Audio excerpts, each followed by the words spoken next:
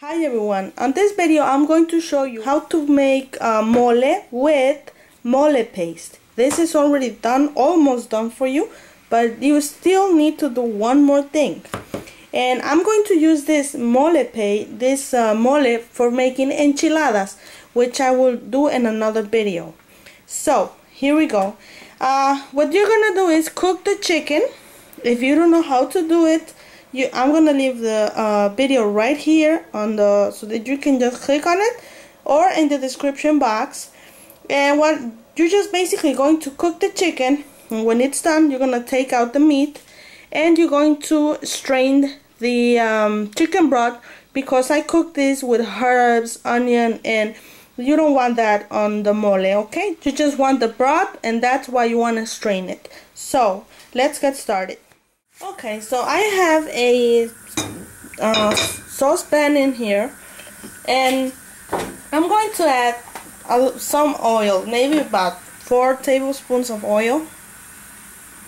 Mole has a lot of oil in it. It's not a fat-free dish. Um, so basically I'm just gonna wait here for 30 seconds so that the oil gets a little bit hot and then I'm going to pour the whole thing here. I'm going to do the whole thing because in the house we're four people. So we eat a lot of people. But if you if you're in home and it's just you and somebody else I really suggest you just do half of it and then just put the all the rest in the refrigerator and it can last you a long time in there. I'm gonna add the whole thing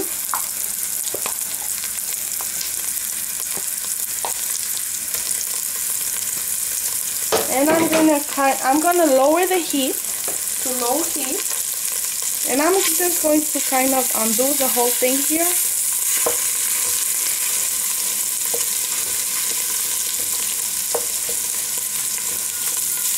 And you know it depends on moles and the brand you use. All moles are different from others. So uh, may it may be that some moles require a lot of liquid in order to get it done. But some of them they they don't require too much.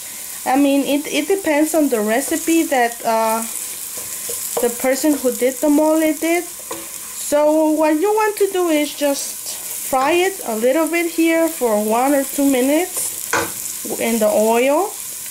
Just kind of uh, mm, let it here to saute a little bit and keep your low heat because mole is a very complicated thing and if you uh, have the heat on high you will burn it. So uh, as soon as your pan gets hot just lower the heat. So I'm gonna add first uh, first one cup.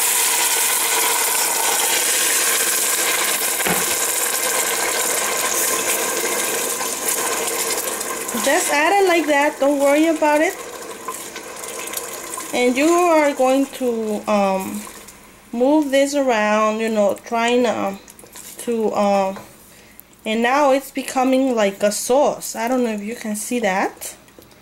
As you add the chicken broth you will see if you need more. Like uh, right now this is too thick for enchiladas.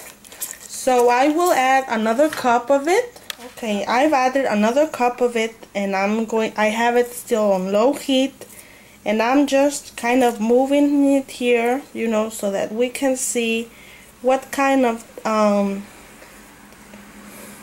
texture we want. If you just want to serve your mole with chicken and rice you just basically this is the consistency you're looking for.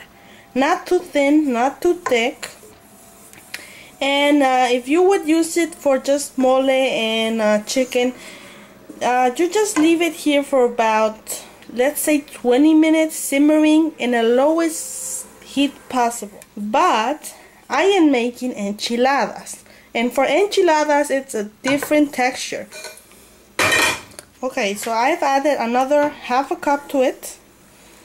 And sometimes as um, it starts simmering sometimes it would still be thickening. And you will still need to be adding chicken broth. So that's why when you uh, buy mole, it's the brand is very important because this way you will know uh, for how many servings you're going to need it. If you run out of chicken broth, you can still add uh, water. Don't worry about it. If it's just half a cup or one cup and you didn't have uh, enough chicken broth, just add plain water. So I'm just gonna wait here for one minute till the um, mole starts simmering. So just leave it here for about 20 minutes here simmering. You should be able to just have it bubbling a little bit like this one so that it don't get burned again. I know I keep repeating uh, that you uh, you can burn the mole but trust me mole it is a very delicate dish that you should not cook in high temperature. So I'm just gonna leave it here and I'll be back when this is done. So after 20 minutes, just turn it off and it, this is already done for making enchiladas or just mole with chicken or tamales. You have a lot of options with this dish. And if you want to check out how to make the enchiladas, I'm gonna leave you uh, the, this video right here so that you can take a look at it. Is this is so easy to make. Is this because we are making it from a paste. But one day I will show you how to make it from scratch. It's a very complex dish but it's also very very delicious. So let's say you just want to serve this with chicken. You just put one piece of chicken on your platter and just like that you just add the mole on top. As you can see it's very very runny but I did this for enchiladas. I just I'm just only showing you how you can serve it with just a piece of chicken and a little bit of rice. You can do it. And I'm gonna leave you a picture right here. So I hope you enjoyed this video tutorial. Don't forget to subscribe and see you next time